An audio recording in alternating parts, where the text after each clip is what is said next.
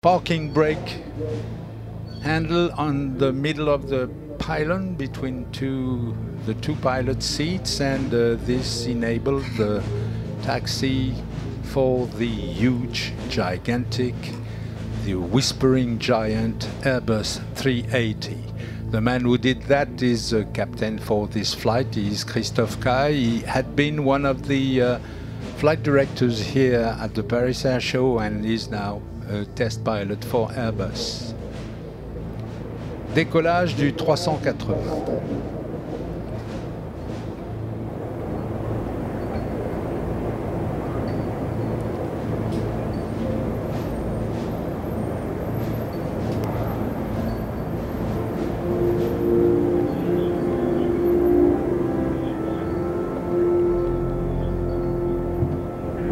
C'est sans conteste une des plus belles présentations en vol qu'on puisse voir sur cette planète. It really is a flagship of the sky. C'est réellement un paquebot du ciel. C'est un avion qui a été commandé à 262 exemplaires par 20 compagnies aériennes. De ça, évidemment, ça c'est l'effet de masse. C'est un avion économique rapporté au siège passager. C'est un avion extrêmement efficace. C'est un des premiers avions dont les consommations par passager transporté descend au-dessous des voitures les plus économiques. Cela dit, aucune voiture ne croise à 950 km/h, enfin du moins pas encore. La vitesse reste l'apanage des avions. Thierry Bourges et Gérard Desbois, voici l'Airbus 380.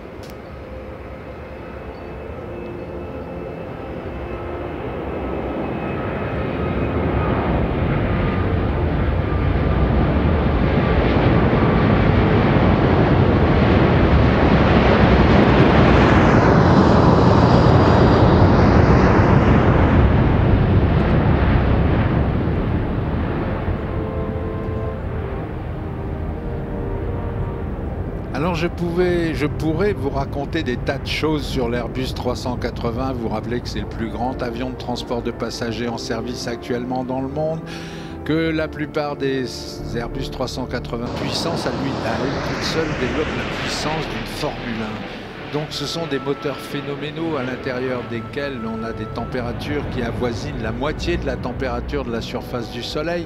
Mais bon, on pourrait dire des tas de choses et ne pas arrêter pendant longtemps concernant cet avion qui of near perfection attained by the people who took care of this with the most user-friendly machine possible.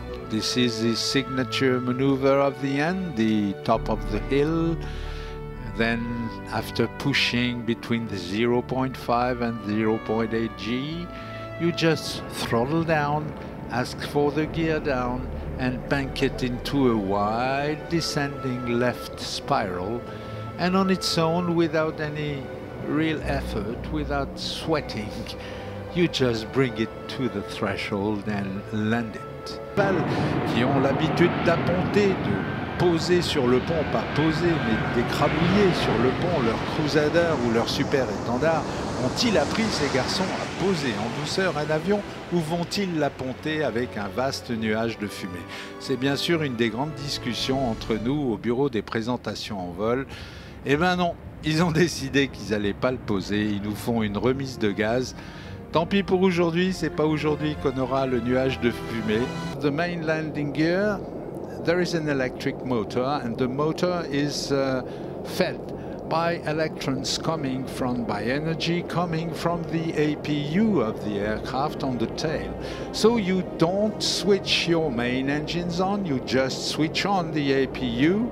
The APU produces electricity, the electricity is fed into the motors and you can even, because they are electric motors able to go forward, backward, you can even pivot the aircraft on its own, just like it is done now. Something you will never do using a tug or under the aircraft on power.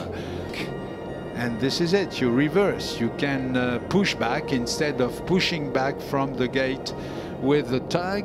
Well, you just take the two toggles and bring them backwards and the aircraft will back up on its own.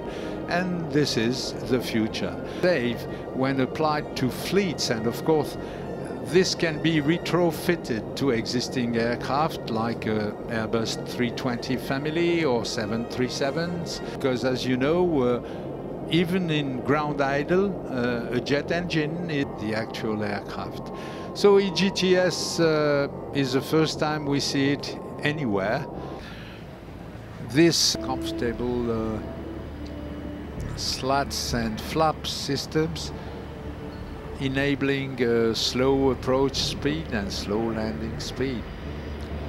Flight controls are quite powerful as demonstrated now.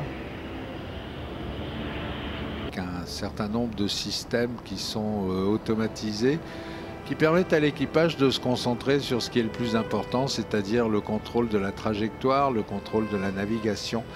Et euh, c'est un avion qui est relativement simple et rustique, mais néanmoins, comme euh, on sait le faire chez Antonov, simple et rustique ne veut pas dire euh, non sophistiqué. La sophistication dans ces avions vient de leur, justement de leur apparente simplicité. The 787 today is flown by two Boeing pilots. Captain is Mike Bryan. He's a 787 engineering project pilot for Boeing. With him on the right seat is Captain Randy Neville, and Randy Neville is chief model pilot for the 787 for the Dreamliner. That's a climb. And uh, Randy Neville uh, flew as uh, test pilot on a very important aircraft, just like the Raptor, for instance. He had more than 600 hours in the F 22 and is now with Mike. They are now flying the 787 for us. À bord de cet avion, donc un équipage de deux pilotes, deux pilotes qui appartiennent aux essais en vol de Boeing, Mike Bryan, qui dans une vie précédente a volé sur F-18, sur Hornet, il l'a même présenté à Farnborough par exemple, et euh, Randy Neville sur le siège de droite qui a été euh, un des pilotes les plus expérimentés sur le Raptor, le F-22, avant de venir euh, voler donc sur les avions lourds de la maison, sur les 787. 250 passengers and uh, the range is uh, 15,200 kilometers, which means that you could make a turn around the world with only two fuel stops. Sa vitesse maximum est de Mach 0,9, Mach 0,90. Maximum speed is Mach 0.9. Stands here on the ground and in the air. Anyway, like it or not, you and I and passengers of the world's billions of them are going to fly in these machines in the near future. Welcome home, Dreamliner. Et donc, comme vous le savez, quelques jours avant ce salon, avant l'ouverture de ce salon... Je vous souhaite une bonne journée aéronautique. Merci. L'homme que vous venez d'entendre était le commandant de bord du vol, Guy Magrin. Il est aux commandes donc de l'Airbus 350. À côté de lui, il y a Peter Chandler, directeur des essais en vol. Le voilà. Uh, uh, along the uh, display line and then turning to the right and away to the southwest. About one.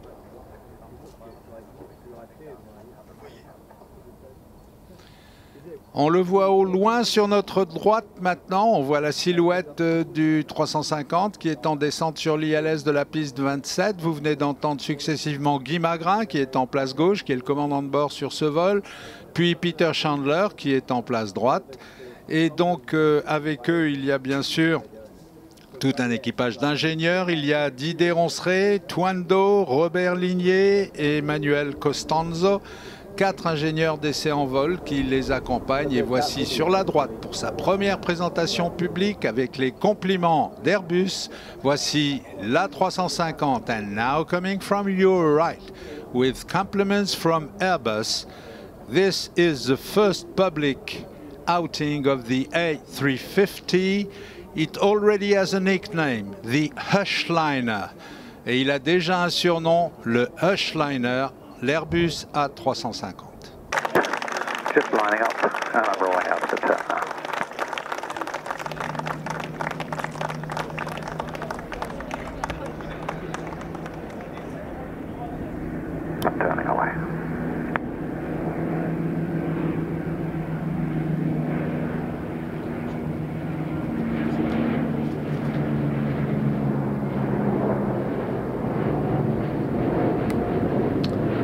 voilà, vous pourrez dire j'y étais.